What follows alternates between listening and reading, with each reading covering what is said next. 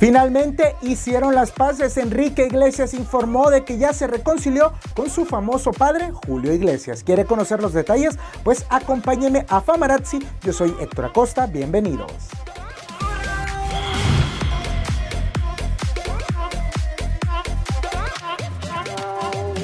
El líder de la banda Coldplay, Chris Martin, aseguró que durante su adolescencia fue homofóbico.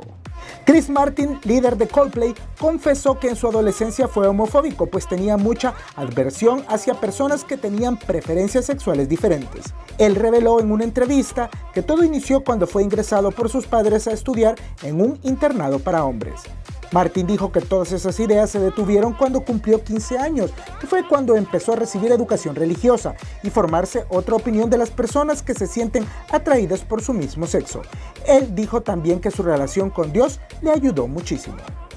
Justin Timberlake rompió el silencio y pidió una disculpa pública a su esposa tras filtrarse unas fotografías de él con otra mujer.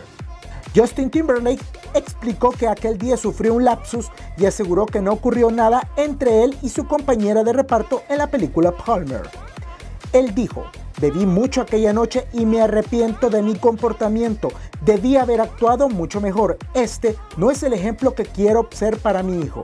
Pido disculpas a mi increíble esposa y a mi familia por hacerles pasar por esta situación embarazosa. Estoy centrado en ser el mejor esposo y padre que puedo. Esto de verdad no lo fue. El distanciamiento terminó. Finalmente, Enrique Iglesias hizo las paces con su famoso padre Julio Iglesias apenas hace unas semanas. Enrique Iglesias comentó que estaba en la ciudad de Miami viendo una película y que de repente sintió esa necesidad de hablar con su famoso padre Julio Iglesias. Enrique comentó, tuvimos una conversación muy bonita, estaba bien de ánimo. Fue una conversación de esas en las que eres consciente de que es especial. Me reconfortó muchísimo. Julio Iglesias, por su parte, hasta el momento no ha dado declaraciones a esta que sería una gran noticia para cualquier padre y en la antesala de la Navidad. Recordemos que ellos se distanciaron en los inicios del año 2000. De verdad de que nos alegramos de que Enrique superara todas sus diferencias con su padre y vuelvan a ser una familia.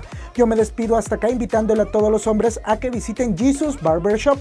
Ellos se encuentran en el Centro Comercial Santa Elena, segunda planta, local 211. Visítelos, ellos son los expertos en cortes de barba y también en cortes de cabello. Yo se los recomiendo. Hasta acá con los espectáculos, nos vemos hasta la próxima. Yo soy Héctor Acosta.